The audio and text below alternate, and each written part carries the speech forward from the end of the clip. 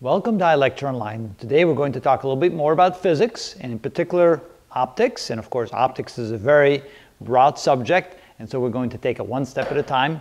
First topic in optics is reflection. Reflection of light against like a mirror or a shiny surface. And the only thing we need to know about reflection is that whenever we have an inbound ray reflecting off a shiny surface like a mirror, the angle of incidence, which is defined by the angle between the incoming ray and the normal line to the surface. Now the normal line is the imaginary line that's perpendicular to the surface and the angle of incidence, which is the angle between the incoming ray and that normal line, is always equal to the angle of reflection, the theta sub r as we call it, which is the angle between the exiting ray and the normal. So these two angles are always the same anytime there's a reflection. And so the entire equation comes down to the angle of incidence equals the angle of reflection. Now that seemed easy, and it is. Now can we apply it to something that's a little bit more complicated? So let's say we have what we call here a corner reflector, and we have an inbound ray of light at an angle of 60 degrees with the horizontal. What will be the angle between the inbound ray and the exiting ray after it bounces off these two surfaces that are at right angles to one another. All right, so what we're going to do is in each case, at every reflection, we're going to use this principle right here, and we're going to always draw the normal line to the uh, surface where the reflection occurs. So here's the normal, and then we define this as the inbound ray angle or the incident angle. And I like to I like to name them or number them like one, two, three, four, five, six. So the inbound angle is one, the exiting angle is 2, and so forth throughout all the surfaces.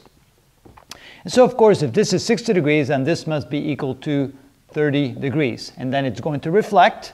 The rays will reflect in this direction until it hits this side right here. And so this is then the reflected angle, theta sub 2. And of course, theta sub 2 must also equal theta sub 1, which is 30 degrees.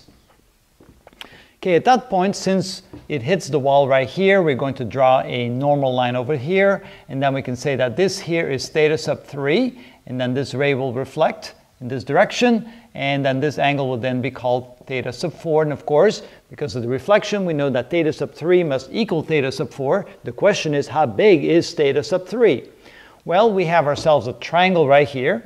We know that this is a 30 degree angle, this is a 90 degree angle, so this therefore must be a 60 degree angle because the three angles must add up to 180 degrees. So this being a right angle, this then therefore is equal to 60 degrees, which means if theta sub 3 is 60 degrees, then theta sub 4 must also be 60 degrees. Now, this is the direction of the light, and so the, this is the outbound or exit ray, this is the inbound ray. What is the angle between those two? Well, let's see now.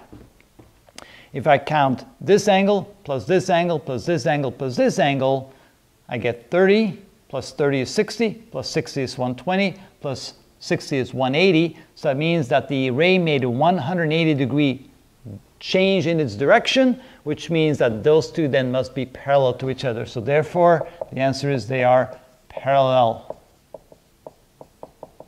And therefore, the angle is 0 degrees or if you want to be strictly mathematical about it, they differ by 180 degrees because one is inbound, the other one is outbound. So, but technically speaking, you could say that, you know, the angle between the two rays is zero degrees.